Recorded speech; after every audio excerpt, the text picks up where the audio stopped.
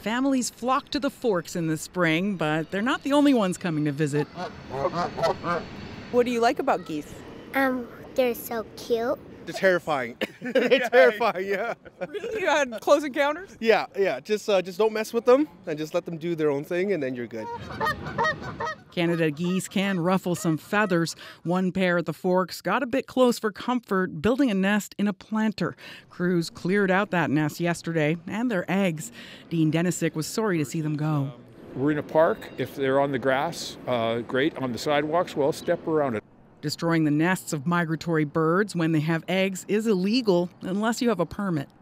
In a written statement, the Forks North Portage Partnership says any work we do on site with respect to geese is always under permit. It says we work with licensed companies to ensure we balance the protection of the public with the safety of the goose population.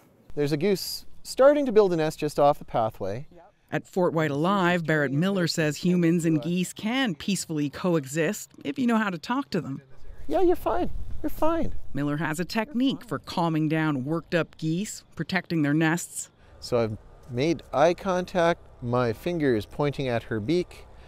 It reminds them actually of Mother Goose. Yeah, you're good, bud. I'm just picking up the garbage. He says geese usually aren't thrilled to be near us either, but have no choice. Most of the good real estate is occupied, and their numbers aren't going down, they're still going up, so they have to go somewhere. So you end up with parking lot geese, planter geese, rooftop geese.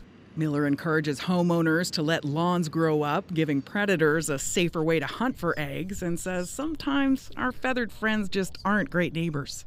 In any species, there are some that are just way more aggressive and way less understanding of others.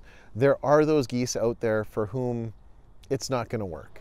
Luckily for the geese at FortWhyte Alive, there's plenty of room for everyone, even noisy neighbors. Emily Brass, CBC News, Winnipeg.